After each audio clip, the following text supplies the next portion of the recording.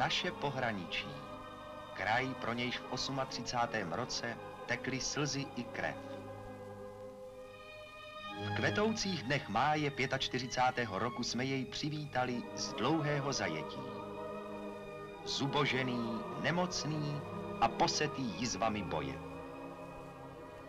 Málo bylo nových osídlenců a jejich usilovná průkopnická práce nestačila vrátit plný život mrtvým vesnicím a ladem ležící půdě.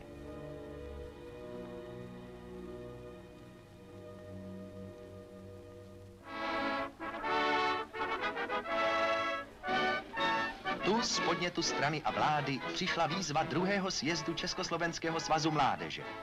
Mládež pochopila, musíme pomoci, je třeba obdělat ladem ležící půdu, posílit řady osídlenců, kteří na rozlehlých prostorách zápasí o úrodu.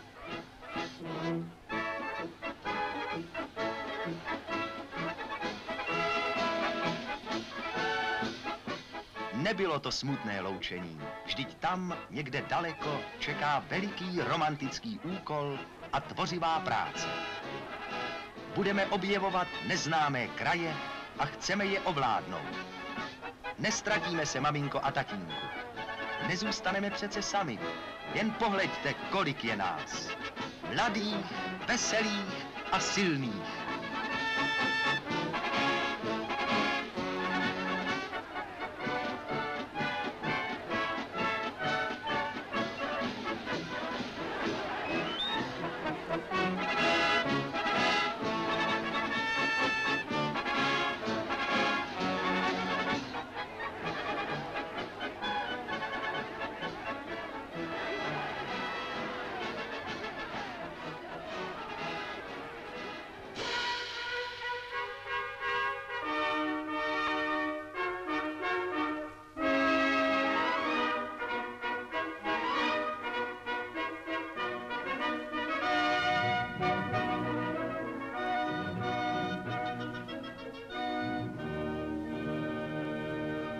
Šumava přivítala mládež z Brna po svém, bez úsměvu a společenských formalit.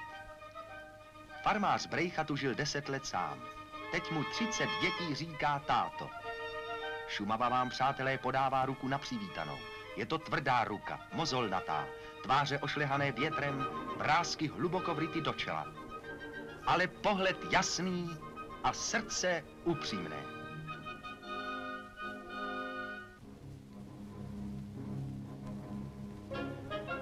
Byly to těžké začátky. Život tu vyrůstal někdy doslova z trosek a spálenišť. Ale brigáda nesoucí jméno Julia Pučíka se nezalekla těžké práce a nepohodlí.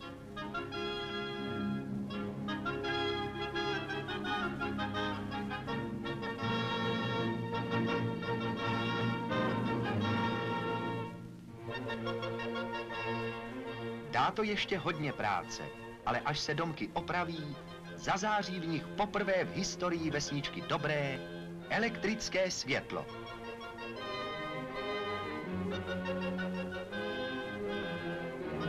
Prozatím musí stačit petrolejka. Vždyť i místo vodovodu je tu jen žebřiňák s bandaskami. Starý dřevěný vodovod už totiž dosloužil.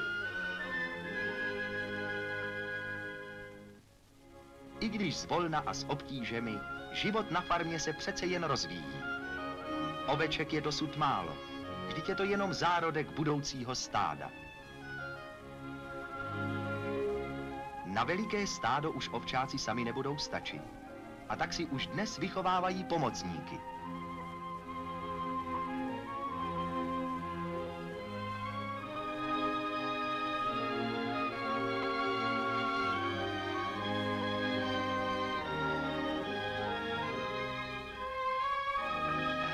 Hraničářský výcvik jim zatím nejde tak dobře jako přátelská utkání ve volném stylu. I kachen bude víc. Maruška Petričáková si s nimi tak dobře rozumí, že jí v brigádě začali říkat Kačenka.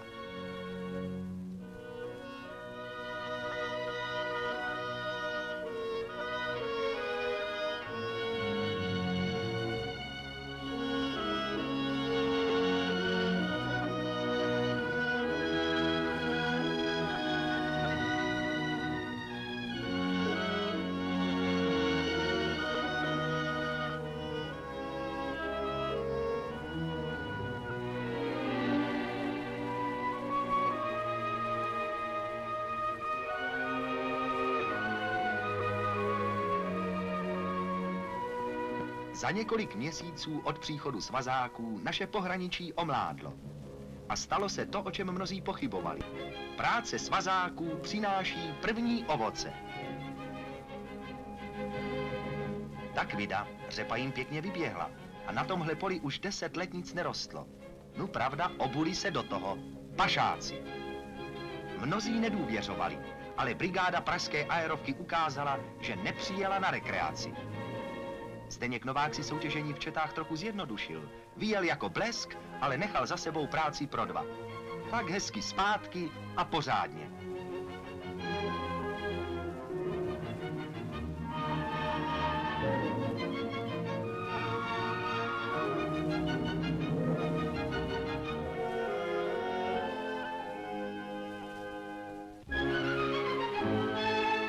V neděli přišlo překvapení, vlastně přijelo. Mateřský závod poslal brigádě dárek. Autobus plný maminek a tatínků.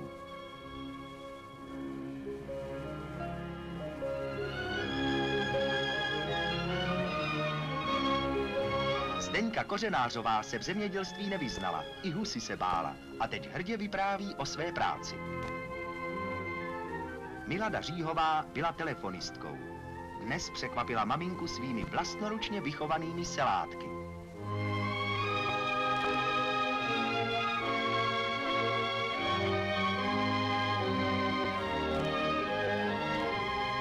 Eda Skuhrovský vyšel s maminkou do polí. Tak tohle je, maminko, moje, totiž naše práce. A matka je hrdá na svého syna.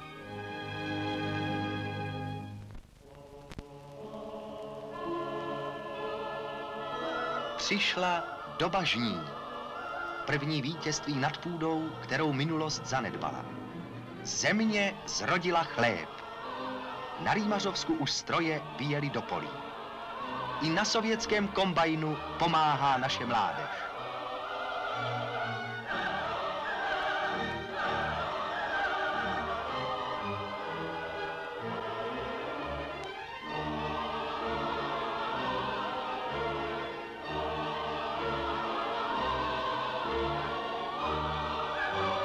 Svazáci z Povážské Bystrice sklízejí len. Slovenští mládežníci se brzy naučili ovládat nový lenokombajn a sklidili len včas na všech polích.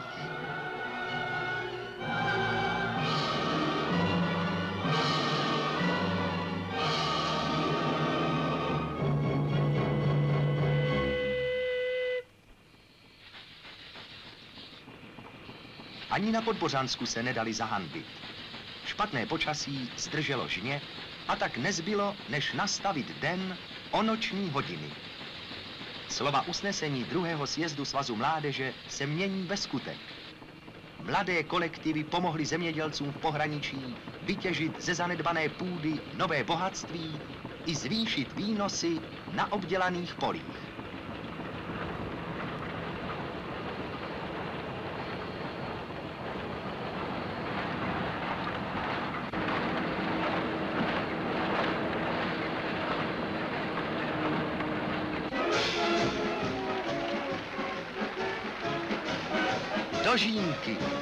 Radostná oslava úrody a zemědělcovi práce. Letos patří zaslouženě i brigádám Svazu mládeže. Náměšti nahané slunce nesvítilo a přece se vydařili. Soudruhům z Povážské Bystrice ani déšť neskazí dobrou náladu. Za vzornou práci na polích státního statku v Rýmařově dostali veliké vyznamenání. Lajku sovětských komsomolců.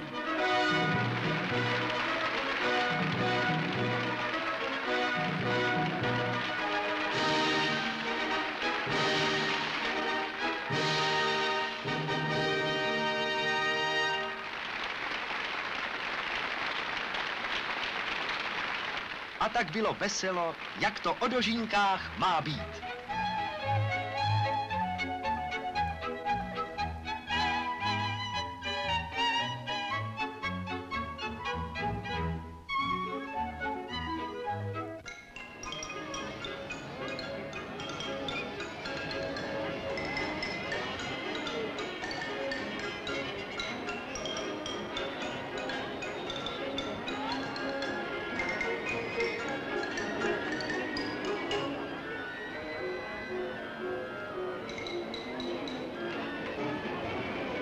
Parku je výstava zemědělských výrobků i strojů. Svazáci mají o ní odborný zájem. Vždyť brigáda ještě nekončí. Mnozí si ji o rok prodloužili a někteří zůstanou v zemědělství natrvalo.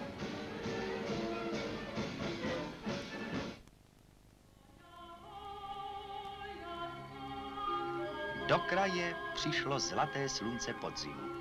Obarvilo listí stromů, prodloužilo večery a připravuje přírodě lůžko k zimnímu odpočinku.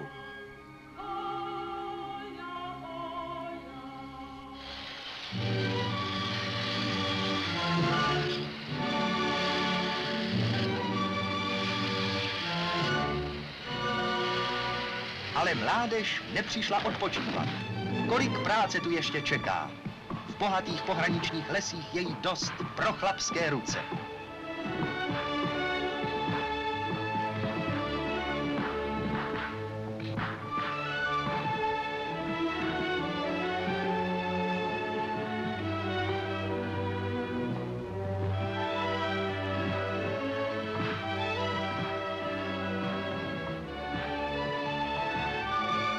A dole v údolí vyrostly desítky nových kravínů, skutečné továrny na živočišné výrobky.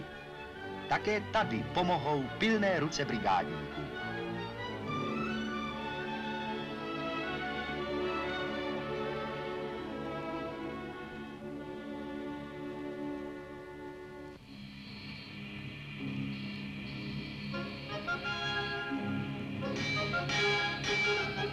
I na farmě bude rušno.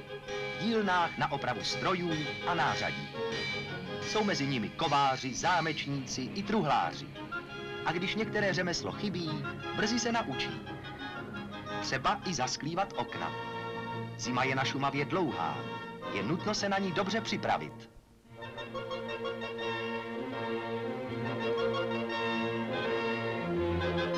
Květa Citrhajmová s manželem upravuje svůj přidělený domek pro celý život. Vedlejší domek patří třem děvčatům. Kačenka s paninkou ho udržují čistý jako klícku.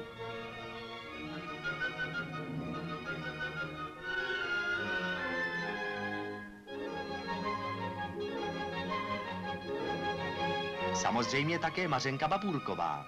Chce tu brzo založit vlastní domácnost. Pokojíky září čistotou a člověk by nevěřil, že toto byla ještě před půl rokem polozbořená stavení.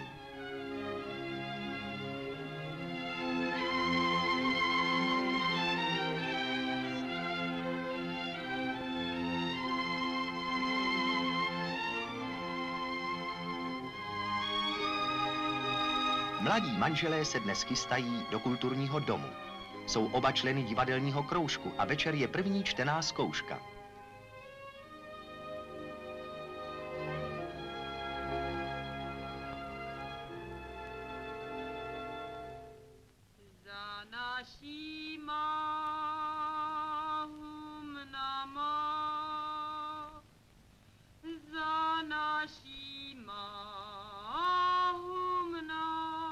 Město se svými světly a divadly je daleko. A někdy večer se přece jen trochu zasteskne. Z jednoduché, prosté písničky vzniká v brigádách kulturní život.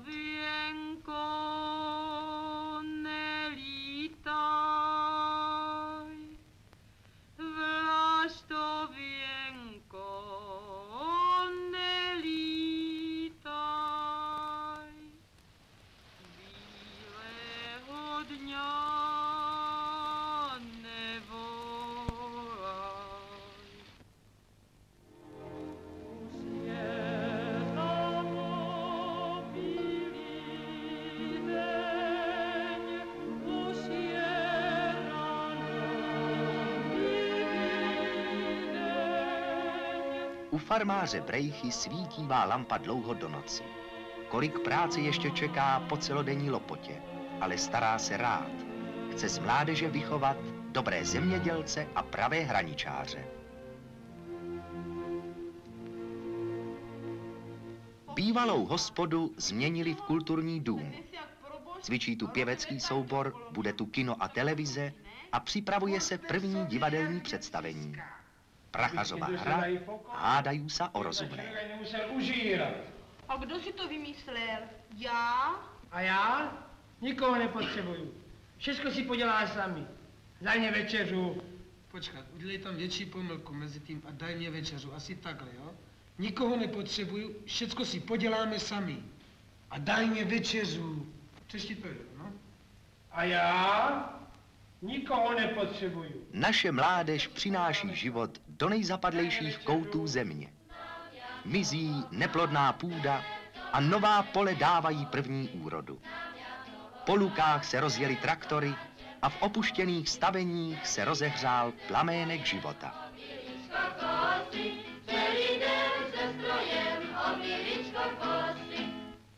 Jednou sama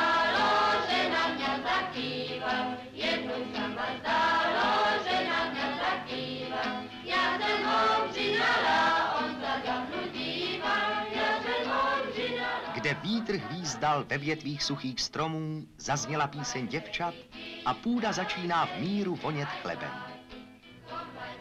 Ve vesnicích kolem hranic usínají mladí budovatelé nového pohraničí a raní slunce je opět zastihne po boku zemědělců hraničářů v boji se zemí o poslední hektary půdy pro život. Pro ty, kteří na ní zůstanou, pro ty, kteří ještě přijdou, pro blahobyt všeho našeho lidu.